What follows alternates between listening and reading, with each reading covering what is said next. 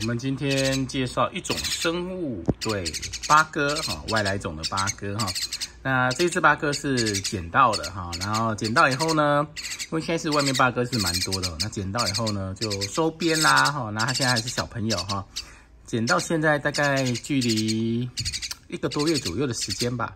不过它现在长成这样子哈，啊，还是非常非常的好动活泼哈。八哥的好处大概就是它的互动性非常的强哈，那呃非常的粘人哈，有些听说有些不会那么粘人，但是它相对而言比较粘人呢。那所以它当行当时会被当成宠物鸟也是有它的原因之一哈。不过因为外来外来种跑到外面去，然后造成大量的繁殖哈，所以很多人会捡到。那捡到其实如果你把它放到野鸟协会去的时候，其实呃他会请你把它。呃，放回原处，或者是只能收养哈，因为它毕竟不是台湾的鸟类。如果台湾鸟类的话，如果它受伤的话，呃，台湾有那种呃野鸟救援的单位，它就会帮它治疗哈。虽然治疗成功率也不是很高了哈，那但是还是会帮它治疗。那这种这种外来种，它就会说自生自灭吧，哈，因为它是外来种哈。那反正就只有两个状况，一个就是你养它。不要再让它出去。那第二个就是放回野外自卫自生自灭嘛，对不对哈？那这种小型的，如果你放回野外是是死定了哈。对，那所以呢，呃，就把它养起来啦。呃，八哥其实互动性非常的好哈。那你看它现在就是肚子饿，现在是在小一点的时候要花很多时间在照顾它哈，因为。嗯，这种八哥小，你只要养过鸟就知道，小型鸟它所需要的吃的时间非常的短哈，可能两个小时、三个小时要吃一次。它现在比较大了，大概可以到四个小时左右吃一次哈。小时候的话，大概就是两个小时喂一次，两个小时喂一次，一天要喂个八次左右哈，非常非常的多。那现在比较大一点点的，可以降到四次五次，因为它每次吃量可以比较多了哈。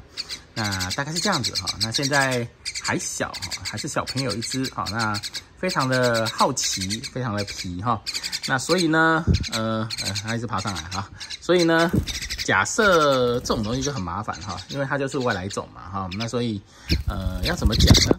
基本上就是不要让它带出去了哈，就让它乖乖的养它哈，对，就是这样子哈。好，OK，大概是这样子啦。那所介绍就是它，它现在一直爬到我身上来哈，就是完全不受控。完全不同，所以镜头下是完全空白的，对不对？来，下来，来，好，好，那基本上这个叫做加巴哥了，因为它眼，它只是一看，它眼睛这边有个框，对不对？它最后会变成红黄色的哈。那加巴哥原产应该是泰国的一种品种哈，所以呢，呃。就是好像有分成，诶，加巴哥跟白尾八哥哈。那台湾的八哥是嘴巴是象牙白的颜色，是保育类的哈，不能养哈。那记得，如果你看到象牙白的颜色，那个就是台湾八哥，那个就可以送野鸟协会去了哈，他们就会收。那这种加巴哥呢，或者是白尾八哥，像它就是外来种，现在非常非常的多哈。那怎么办呢？这个就外来种子是一个很麻烦的事情哈。那其实我们养的什么什么鹦鹉啊、兰花，大部分也都是外来种哈，所以其实。现在其实外来种跟外来入侵种又有差别哈，像我们所所养的很多都是外来种，像我们吃的稻米、小麦那个也都是外来种，但是它没有当没有变成外来入侵种哈。外来入侵种就是它会对我们的环境产生很大的影响，那个我们称为外来入侵种。所以其实呃这两个层次还是有差别的哈。那假设你想要了解八哥的话，我再把相关的连接放右上方，你再连过去看哦。之前有做一支影片专门在讲八哥哈。好，那当然。当宠物又是另外一回事啦，哈！如果你看到，呃，像最近都会有人捡到八哥，那，呃，有些人就会叫有那种八哥交流社团，他就会把它放在那边让人家认养。那养了以后就不要让它回到野外啦，概念就是这样子，跟流浪猫、流浪狗的概念一样。是流浪猫、流浪狗也是外来种，哈，也是外来种，甚至也是外来入侵种，哈，造成环境的影响，哈。好，OK，感谢收看，我们再见喽，拜拜。